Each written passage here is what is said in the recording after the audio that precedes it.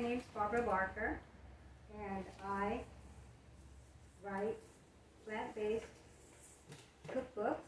One is called Enlightened High Tea Parties, that I call book number one, and this is Inspired Plant-Based Parties, which I call book number two. Um, today, I'm going to show you how to make true party food. Uh, we're going to be making these tortilla roll-up spirals. And uh, as my sister says, make a lot of those because I can eat those all day long. So uh, to get started, I'm going to show you how to make the uh, cranberry uh, roll-up. And it can be either a savory or a sweet. You can even serve it as a dessert, but it is uh, technically an appetizer. So, um, so I'm only showing you half a recipe because I don't want to be here rolling things up and I don't want a lot of leftovers. So um, this is half recipe. The full recipe is in book number two. Uh, so we're going to start with a fourth of a cup of pureed tofu. This is my new go-to instead of plant-based yogurt or cream cheese or even the plant-based cream cheese uh, because the yogurt and the cream cheese have an enormous amount of fat in them. And the the tofu this is the the block tofu that you get the what I call the wet one because it's floating in water. Or you can use the aseptic box it doesn't make any difference. But you have to puree it in the food processor or a high-speed blender so that you get it to the consistency of kind of like a stiff yogurt. And then um, we're going to have a fourth of a cup of cooked brown rice. And the brown rice just kind of gives it a little bit of volume. You don't need to put brown rice in here if you don't want to, or if you are thinking about um, carbs.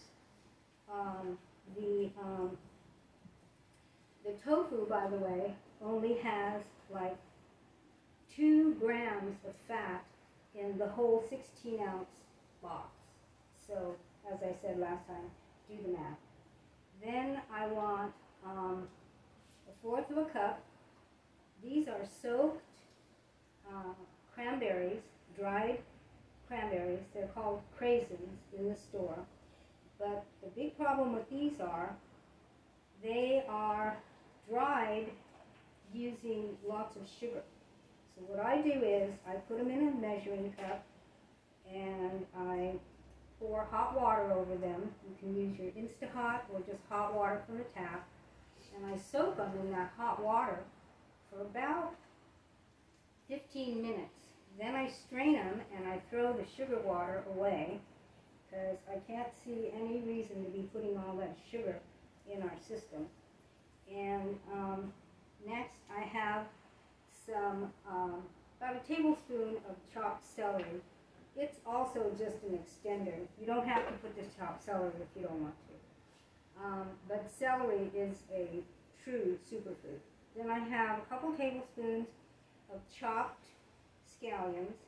You could put chives, you could put red onions, you could put any kind of onion flavor you want, but the flavor that, that makes this dish a sweet and a savory comes from the combination of the sweet cranberry flavor and the um, kind of bitterness of the onion. So, but every ingredient that just went in this little bowl is a superfood. Um, Don't have time to go into the big list of everything that cranberries and onions do for you, but um, they definitely help your immune system. Then the next thing is, oh, this is what it looks like when it's all mushed up. And I want you to know, um, stir this by hand, chop your vegetables by hand, stir this by hand, because one time I tried to make it in the food processor to like speed things up, and um, the problem was it turned into a big watery mess. So you don't want that. The next thing you're going to need is a, um, these are spinach and herb um, tortillas. They took the opening at the wrong end, so when I hold them up, they fall out. Um, these are made out of spinach and rice. So remember I said, if you eat any green vegetable with any rice or any grain, they combine in your system to make a complete protein. And please, please, please get the gluten-free ones. I won't get on my soapbox about gluten, but I will tell you that the wheat that we have been purchasing and eating for about the last 30 years is genetically modified. And um, these are not GMO'd. So if you get gluten-free anything, probably has not been GMO'd, but check your labels.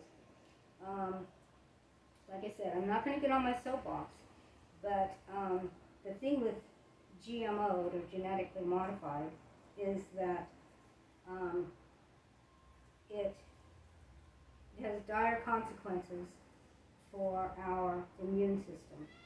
And uh, what I'm going to say is, um, if you want to look into that subject in depth, uh, you can Google it.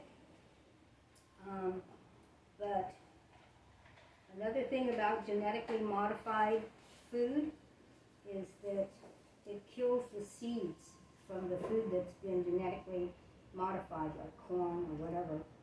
So the seed from that genetically modified uh, vegetable is won't reproduce. So you'll have to make up your own mind on that. But um, if you want your immune system to stay well, uh, stay away from GMO food. What I just did was I spread the um, the filling on the tortilla and I roll it up. You can do a thin layer, you can do a thick layer. You can see this is a thick layer, this is a thin layer. So it's how it comes out looking for aesthetics afterwards. You start at one end and you roll it up. They call this jelly roll fashion. And you crimp the edges together. And if it looks like it's not going to stick, you just put a little of your filling on the end to get it to stick. And you put it on a dish and you put it seam side down and you put this dish in a you either cover it with plastic wrap or you can put it in a plastic bag and put it in your refrigerator or has to chill for at least two hours or overnight. And then the next day when they're firm um, I don't even know if it'll cut right now but the next day you can't you cut them like this into one inch pieces. And this first piece, of course, they call the tail. They give that, that's for the cook. Then you can cut them to whatever size you like. You can make them thin, you can make them thick. But to get the spiral, if you go about one inch, then you'll get to where you want to be. So you can see that's what a one inch looks like. And then you can make these, or you should make these the day before your party, and then keep them in the refrigerator. And, uh, or you can serve them with a meal, or these you can serve as dessert. So um, that's the first one. Those are called cranberry spirals. Then um, the next one I'm going to show you is called a garden spiral. And um, this, in this mixing bowl or cup, I have carrots, cooked carrots that have been diced, small dice, and uh, brown rice cooked, and celery, including the leaves, and um, one scallion chopped, and um, but you can put any vegetable you like. It doesn't have to be these vegetables. Um, you can add olives. You can add um, well, let's see. Let me look at my notes so that I'll remember. Olives, artichoke hearts is what I forgot. Roasted bell, bell peppers are beautiful in this kind of a salad. I'm going to put this little dibby dabby of filling in this little container so that I can keep going here.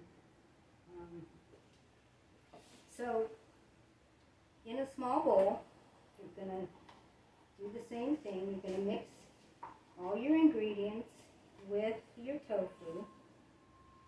Um, and you know, tofu is a complete um, protein, and it's, it's, it's also a superfood. So um, you mix till you get it to the consistency that you want, everything all mixed up together.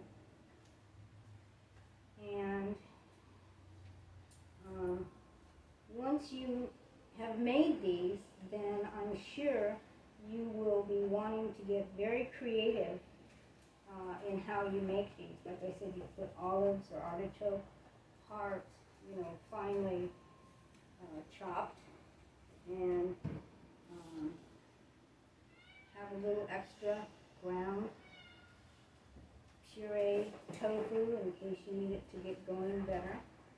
Like I said, I've used everything to try to make these. I've used real cream cheese, I've used plant-based cream cheese, I've used yogurt, but the thing that works the best for me now is the pureed tofu. And um, like I said, if you if you're conscious about money and doing the math, um, a one pound box of tofu is about two dollars and fifty cents, and um, a half a cup of plant-based um, cream cheese is five dollars.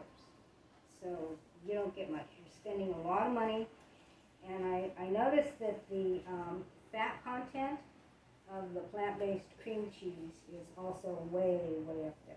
I don't remember the exact number, but it's up there.